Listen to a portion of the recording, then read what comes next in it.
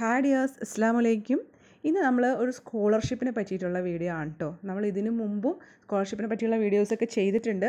അപ്പോൾ അതുപോലെ തന്നെ മുന്നോക്ക സമുദായത്തിൽ സ്കോളർഷിപ്പിനെ പറ്റിയിട്ടും ചെയ്തിട്ടുണ്ട്. ഇതും ഒരു മുന്നോക്ക സമുദായ ക്ഷേമ കോർപ്പറേഷൻ നൽകുന്ന സ്കോളർഷിപ്പാണ്. അപ്പോൾ ഇത് സമുന്നതി സ്കോളർഷിപ്പ് എന്ന് തന്നെയാണ് വിദ്യാ സമുന്നതി സ്കോളർഷിപ്പ്. ഗ്രാജുവേഷൻ ലെവലിലുള്ള കുട്ടികൾക്കുള്ള സ്കോളർഷിപ്പാണ് കേട്ടോ ഇത് നിങ്ങൾ കേരളത്തിലെ യൂണിവേഴ്സിറ്റി അംഗീ അതായത് അംഗീകൃതമുള്ള ഗവൺമെന്റ് എയ്ഡഡ് കോളേജുകളിൽ പഠിക്കുന്നവർക്കും കേന്ദ്ര സർവകലാശാലകളിൽ പഠിക്കുന്നവർക്കും അതുപോലെ തന്നെ ഓൾ ഇന്ത്യ എൻട്രൻസ് എക്സാം വഴി അതായത് നീറ്റ് ജെ ഇ ഒക്കെ വഴി കേരളത്തിന് പുറത്തുള്ള കോളേജുകളിൽ അഡ്മിഷൻ എടുത്തവർക്കും ഇത് അപേക്ഷിക്കാം. ശാസ്ത്രീയ വിദ്യാഭ്യാസ റിസർച്ച് ആൻഡ് സയന്റിഫിക് സ്ഥാപനങ്ങളിൽ പ്രവേശനം നേടിയേക്കുന്നവർക്കും ഇത് അപേക്ഷിക്കാം കേട്ടോ ഇതിന്റെ പ്രത്യേകത എന്ന് പറയുന്നത് കേരളത്തിന് പുറത്തുള്ള കോളേജുകളാണ് നിങ്ങൾ പഠിക്കുന്നതെങ്കിലും കുഴപ്പമില്ല. പക്ഷേ അത് ഓൾ ഇന്ത്യ എൻട്രൻസ് എക്സാം ആയിരിക്കണം. ഇപ്പോൾ ഒരു പ്രത്യേക ഇപ്പോൾ നമ്മൾ അമൃത അല്ലെങ്കിൽ വെല്ലൂരൊക്കെ അവരുടെ തന്നെ എൻട്രൻസ് എക്സാം ഉണ്ട് അല്ലേ? അങ്ങനെ കയറിയവരായിരിക്കരുത്. നിങ്ങൾ നീറ്റോ അല്ലെങ്കിൽ ജെയുടെ എക്സാമൊക്കെ എഴുതിയിട്ട് അങ്ങനെയുള്ള കോളേജുകളിൽ കേരളത്തിന് പുറത്ത് അഡ്മിഷൻ എടുത്തവർക്കും ഇത് അപേക്ഷിക്കാവുന്നതാണ് കേട്ടോ പ്രത്യേകം പറയുന്നു ഇത് സംവരണത്തിലൊന്നും പെടാത്ത ഒരു സംവരണത്തിലും പെടാത്ത കുട്ടികൾക്കുള്ള സ്കോളർഷിപ്പാണ്. മുന്നോക്ക സമുദായത്തിൽപ്പെട്ട എക്കണോമിക്കലി വീക്ക് ആയിട്ടുള്ളവർക്കുള്ള സ്കോളർഷിപ്പാണ് കേട്ടോ ഇതിന്റെ വാർഷിക വരുമാനം എന്ന് പറയുന്നത് നാല് ലക്ഷം രൂപയാണ്. നാല് ലക്ഷം രൂപയിൽ നിങ്ങളുടെ ഇൻകം കവിയാൻ പാടില്ല. ഇതിന്റെ ലാസ്റ്റ് ഡേറ്റ് മുപ്പതാം തീയതിയാണ് ലാസ്റ്റ് ഡേറ്റ് നിങ്ങളുടെ എല്ലാ സ്കോളർഷിപ്പുകളും ഇപ്പോൾ നമ്മൾ പറഞ്ഞു പോയേക്കുന്ന സ്കോളർഷിപ്പുകളുടെയൊക്കെ ഡേറ്റുകൾ നീട്ടാൻ ചാൻസ് ഉണ്ട് കേട്ടോ അപ്പോൾ നമ്മൾ പറഞ്ഞു പോയേക്കുന്ന സ്കോളർഷിപ്പ് അയ്യോ ഡേറ്റ് കഴിഞ്ഞെന്ന് പറയരുത്. കാരണം ഇപ്പോൾ അഡ്മിഷന്റെ കാര്യങ്ങളൊക്കെ നടക്കുന്നുള്ളൂ അല്ലേ? അപ്പോൾ അതനുസരിച്ച് ഡേറ്റുകൾ നീണ്ടു വരാം. ഇപ്പോൾ ഇതിൽ പറയുന്നത് മുപ്പതാണ്. അപ്പോൾ ചിലപ്പോൾ ആ മുപ്പത് കഴിഞ്ഞിട്ടും മുപ്പത് പന്ത്രണ്ടാണ് പറയുന്നത്. ചിലപ്പോൾ അത് നീണ്ടാനായിട്ട് ചാൻസ് ഉണ്ട് കേട്ടോ. അപ്പോൾ ഒരു ഒരുപാട് സ്കോളർഷിപ്പുകളുണ്ട്. നമ്മൾ ഇതനുസരിച്ചിട്ട് വീഡിയോസ് പറയുന്നതാണ് കേട്ടോ. നിങ്ങൾക്ക് ഈ വീഡിയോ ഇഷ്ടമാവണ്ടെങ്കിൽ നിങ്ങൾ ഒന്ന് ലൈക്ക് ചെയ്യണേ. അതുപോലെ ഇതുപോലുള്ള സ്കോളർഷിപ്പുകളൊക്കെ അറിയാനായിട്ട് ഒന്ന് സബ്സ്ക്രൈബ് ചെയ്യണം കേട്ടോ.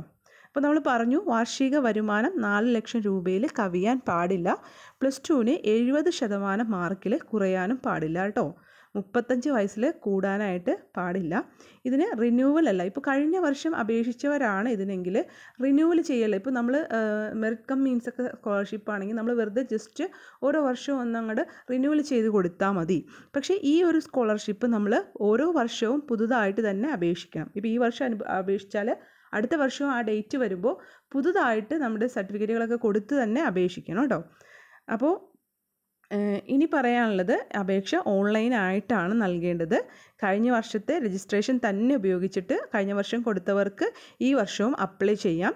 ആദ്യമായിട്ട് അപേക്ഷിക്കുന്നവർ വെബ്സൈറ്റിൽ W W dot K S F K S W C F C dot O R G എന്ന സൈറ്റിൽ രജിസ്റ്റർ ചെയ്യണം. ശേഷം ആപ്ലിക്കേഷൻ നമ്പർ നൽകണം കേട്ടോ. അപേക്ഷ നൽകുമ്പോൾ പല സ്കീം ഉണ്ടാവും. അതിൽ ഏത് തരത്തിലാണ് ബിരുദ തരത്തിലുള്ള സ്കീമിലാണ് നമ്മൾ ചെയ്യേണ്ടത് കേട്ടോ അതുപോലെ തന്നെ നീറ്റ് വഴി നമ്മൾ പറഞ്ഞു നീറ്റ് വഴി മറ്റു സ്റ്റേറ്റിലൊക്കെ അഡ്മിഷൻ എടുത്തവർക്കും ഈ ഒരു ഇതിൽ അപേക്ഷിക്കാം.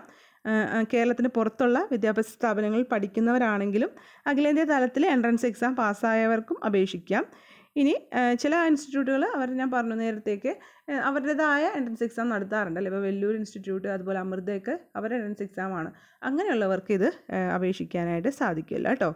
ഇനി നമ്മൾ ഇന്റഗ്രേറ്റഡ് കോഴ്സുകളുണ്ടല്ലോ അവിടെ അവർക്കൊക്കെ ആദ്യത്തെ മൂന്ന് വർഷത്തെ സ്കോളർഷിപ്പുകൾ കിട്ടാനായിട്ട് നിങ്ങൾ പി യു ജി ലെവലിലാണ് കേട്ടോ അപ്ലൈ ചെയ്യേണ്ടത്. അപ്പോൾ അവർക്കും ഇന്റഗ്രേറ്റഡ് കോഴ്സുകളിൽ പഠിക്കുന്നവർക്കും ഈ ഒരു സ്കോളർഷിപ്പിനെ നമുക്ക് അപേക്ഷിക്കാം.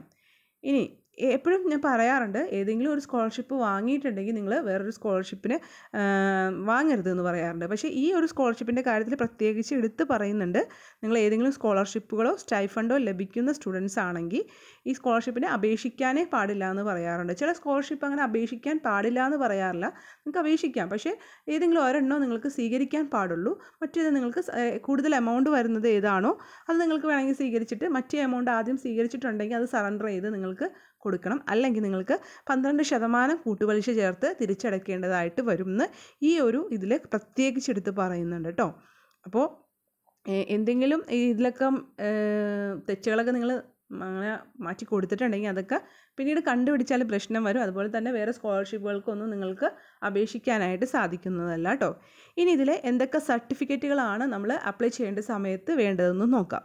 എല്ലാ സ്കോളർഷിപ്പിലും പറയുന്ന പോലെ നിങ്ങളിപ്പോൾ ഡിഗ്രി ചെയ്യുന്ന ഇൻസ്റ്റിറ്റ്യൂട്ടിന്റെ ഹെഡിന്റെ കൊണ്ട് സാക്ഷ്യപത്രം നിങ്ങൾ സർട്ടിഫിക്കറ്റ് സൈൻ ആൻഡ് സീൽ ചെയ്ത് വെക്കുന്നുണ്ട്. നിങ്ങൾ ആ വെക്കേണ്ട ആവശ്യമുണ്ട്. അത് ഏത് സ്കോളർഷിപ്പിനും അങ്ങനെ നമ്മൾ വെക്കണം. നമ്മൾ പഠിക്കുന്ന ഹെഡിന്റെ സാക്ഷ്യപത്രം എന്ന് പറയും. അപ്പോൾ അത് നമ്മൾക്ക് ഏത് സ്കോളർഷിപ്പാണോ നമ്മൾ അപേക്ഷിക്കുന്നത് ആ വെബ്സൈറ്റിൽ നമ്മൾക്ക് ആ ഒരു സാക്ഷ്യപത്രം നമുക്ക് കാണാൻ സാധിക്കും. അത് നമ്മൾ ഡൗൺലോഡ് ചെയ്തെടുത്തിട്ട് നമ്മുടെ ഇൻസ്റ്റിറ്റ്യൂട്ട് ഹെഡിനെ കൊണ്ട് നമ്മൾ സൈൻ ചെയ്യിച്ച് അതിനുശേഷം നമ്മൾ അപ്ലോഡ് ചെയ്ത് കൊടുക്കേണ്ട ആവശ്യമുണ്ട് കേട്ടോ ഇനി ഇൻകം സർട്ടിഫിക്കറ്റ് വേണം. അത് നിങ്ങൾക്ക് അറിയാം. വില്ലേജ് ഓഫീസിൽ നിന്ന് തന്നെ ലഭിച്ചത് വേണം. കാസ്റ്റ് സർട്ടിഫിക്കറ്റ് വില്ലേജ് ഓഫീസറുടെ കയ്യിൽ നിന്ന് വാങ്ങിച്ചത് ഇല്ലെങ്കിൽ നിങ്ങൾക്ക് എസ് എസ് എൽ സി ബുക്കിൽ നിങ്ങളുടെ ജാതി രേഖപ്പെടുത്തിയ സർട്ടിഫിക്കറ്റിന്റെ ആ പേജ് ഗസറ്റഡ് ഓഫീസറെ കൊണ്ട് സൈൻ ചെയ്യിച്ചതായാലും മതിയാവും കേട്ടോ പിന്നെ മാർക്ക് ലിസ്റ്റ് അല്ലെങ്കിൽ അതുപോലെ മാർക്ക് ലിസ്റ്റ് പ്ലസ് ടുവിന്റെ ആണ് വേണ്ടത്. പ്ലസ് ടു അല്ലെങ്കിൽ ഈക്വലന്റ് ആയിട്ടുള്ള ഏതാണോ നമ്മളിപ്പോൾ ബോർഡ് ഏതാണെന്ന് വെച്ചാൽ അത് കൊടുക്കുക കേട്ടോ ഇനി പാസ്ബുക്കിന്റെ ഫ്രണ്ട് പേജ് നിങ്ങൾ എടുക്കുമ്പോൾ ശ്രദ്ധിക്കുക അത് നല്ല ക്ലിയർ ആയിട്ട് ഇരിക്കണം കേട്ടോ പാസ്ബുക്ക് അതിന്റെ നമ്മുടെ അക്കൗണ്ട് നമ്പറും ഐ എഫ് സി കോഡും അതുപോലെ ബ്രാഞ്ചിന്റെ നെയിമൊക്കെ നല്ലപോലെ ക്ലിയർ ആയിട്ട് ഇരിക്കുക കാരണം ഇതിന്റെയൊക്കെ എന്തെങ്കിലും മിസ്റ്റേക്ക് വന്നാൽ വേറെ നമ്മുടെ അക്കൗണ്ടിൽ നിന്ന് വേറെ അക്കൗണ്ടിലേക്കൊക്കെ പോയിട്ട് നമുക്ക് പിന്നെ അതൊന്നും പറയാൻ പറ്റില്ല. അല്ലെങ്കിൽ ചിലപ്പോൾ അത് ക്ലിയർ ആയില്ല എന്ന് പറഞ്ഞിട്ട് അങ്ങനെ ചിലപ്പോൾ അത് ഇതായി പോകും. അപ്പോൾ അതുകൊണ്ട് നിങ്ങൾ പാസ്ബുക്കൊക്കെ വെക്കുമ്പോൾ അതിന്റെ ഐ എഫ് സി കോഡും അതൊക്കെ നിങ്ങൾക്ക് അറിയാലോ. ബാങ്കിന്റെ പാസ്ബുക്ക് ചിലതിലൊന്നും അത്ര വലിയ ക്ലിയർ ആയിട്ട് ഉണ്ടാവില്ല അപ്പോൾ നിങ്ങൾ ശ്രദ്ധിച്ച് അത് സ്കാൻ ചെയ്ത് എടുത്തില്ലെങ്കിലും അതിലും വലിയ പ്രശ്നം വരും. അപ്പോൾ നിങ്ങൾ അതുകൊണ്ട് അതൊക്കെ നല്ല നോട്ടീസ് ചെയ്ത് തന്നെ എടുക്കുക കേട്ടോ ഇനി വേണ്ടതാണ് ആധാർ കാർഡ്. അപ്പോൾ നമ്മൾ പറഞ്ഞത് ഈ സർട്ടിഫിക്കറ്റുകളിലെല്ലാം കൂടി അതായത് സാക്ഷ്യപത്രം ഇൻകം കാസ്റ്റ് സർട്ടിഫിക്കറ്റ് അതുപോലെ മാർക്ക് ലിസ്റ്റ് പ്ലസ് ടുവിന്റെ പാസ്ബുക്കിന്റെ ഫ്രണ്ട് പേജ് അതുപോലെ ആധാർ കാർഡ്.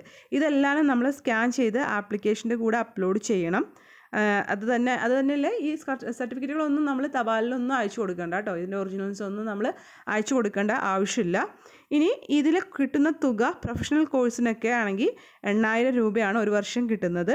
നോൺ പ്രൊഫഷണലാണെങ്കിൽ ആറായിരം രൂപയാണ് വർഷത്തിൽ ലഭിക്കുന്നത് കേട്ടോ. അപ്ലൈ ചെയ്യാനുള്ള ലിങ്ക് ഞാൻ താഴെ ഡിസ്ക്രിപ്ഷൻ ബോക്സിൽ കൊടുത്തേക്കാം. ബാങ്ക് അക്കൗണ്ട് വഴി മാത്രമാണ് സ്കോളർഷിപ്പ് ലഭിക്കുകയുള്ളൂ അതുകൊണ്ട് തന്നെ അക്കൗണ്ട് നമ്പർ നിങ്ങൾ ടൈപ്പ് ചെയ്യുമ്പോഴൊക്കെ ശ്രദ്ധിക്കുക. അതിലുണ്ടാവുന്ന ചെറിയ പിഴവുകൾ പോലും നിങ്ങൾക്ക് മിസ് ക്രെഡിറ്റിന് വഴിയാക്കും. സോ നന്നായിട്ട് ശ്രദ്ധിച്ച് തന്നെ ചെയ്യുക. അതുപോലെ തന്നെയാണ് ചെറിയ പിഴവ് മൂലം നിങ്ങളുടെ ഒരു അപേക്ഷ നിരസിക്കുന്നതിനും സാധ്യതയുണ്ട്. അതുകൊണ്ട് അതൊക്കെ നല്ലപോലെ ശ്രദ്ധിച്ച് ചെയ്യുക. നമ്മളുടെ അപേക്ഷ ലാസ്റ്റ് ഡേറ്റ് വരെ നമുക്ക് തിരുത്താനായിട്ട് സാധിക്കും. അതുകൊണ്ട് നമ്മൾ കറക്റ്റായിട്ട് കൊടുക്കുക. തെറ്റായ വിവരം വ്യക്തമല്ലാത്ത ഡോക്യുമെൻസുകളെല്ലാം കൊണ്ടും ഇത് നമുക്ക് നിരസിക്കപ്പെടാം. തീരുമാനം അത് ഇതിന്റെ അന്തിമമായിരിക്കും. അതിൽ നമ്മൾ അപ്പീലൊന്നും കൊടുക്കാനായിട്ട് സാധിക്കില്ല. ലാസ്റ്റ് ഡേറ്റ് മുപ്പതാം തീയതി വരെയാണ്. പിന്നെ ഇതിൽ പറയാനുള്ളത് ഇതിൽ മുൻഗണന എന്ന് പറയുന്നത് നമ്മളുടെ ഇൻകം തന്നെയാണ് മുൻഗണന വരുന്നത്. കാരണം മുന്നോക്ക വിഭാഗത്തിൽ എക്കണോമിക്കലി വീക്കായവർക്കുള്ളതാണ് അപ്പോൾ നാല് ലക്ഷം വരെ ഇൻകം വരാമെന്ന് വെച്ചാലും ഇതിന് മുൻഗണന കൊടുക്കുന്നത് നമ്മുടെ ഇൻകത്തിന് തന്നെയാണ് കേട്ടോ ഇപ്പോൾ ഇതിന്റെ ഡീറ്റെയിൽസൊക്കെ നിങ്ങൾക്ക് ഈ ഒരു സൈറ്റിൽ നിന്ന് നിങ്ങൾക്ക് ഡൗൺലോഡ് ചെയ്തെടുക്കാനായിട്ട് സാധിക്കും.